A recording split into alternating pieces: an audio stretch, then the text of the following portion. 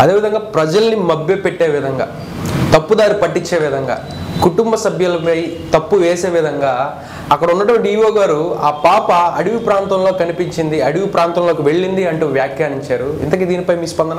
ఆ ఈవో గారు ధర్మారెడ్డి గారిని అసలు ఏమనాలో అసలు అర్థం కావటంలే.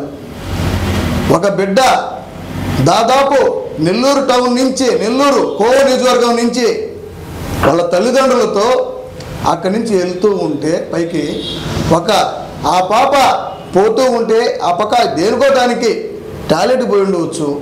ఏదో విధంగా అనుకోవాలి కానీ మతి సిమితం లేకుండా పోయిందని చెప్పడం ఎంత దుర్మార్గము. ఒకటే చేస్తున్నా మీరు ఏదైనా చేయగలుగుతారు. మీరు ఏదైనా చెప్పగలుగుతారు. మీరు కూడా అధికారిగా మాట్లాడండి మీరు. ఒక రాజకీయ నాయకుడిగా మాట్లాడబాకని చెప్పి ధర్మారావు గారికి ధర్మారెడ్డి గారికి వివో గారు తెలియజేస్తున్నా. ఇప్పటికైనా మునిగిపోయింది లేదు ధర్మారెడ్డి గారు. ఇప్పుడైనా ప్రజలు సుఖ సంతోషాలతో ఉండాలంటే ఆ వెంకటేశ్వర స్వామి దగ్గరికి ప్రతి ఒక్కరూ ఆయన ముక్కు తీర్చుకునే దానికి ప్రజలందరూ వస్తున్నారు. ఈరోజు ఈ వైసీపీ గవర్నమెంట్ వచ్చిన తర్వాత దాదాపు నాలుగు సంవత్సరాల మూడు నెలలకి ఆ తిరుమలని భ్రష్టు పట్టించినారు.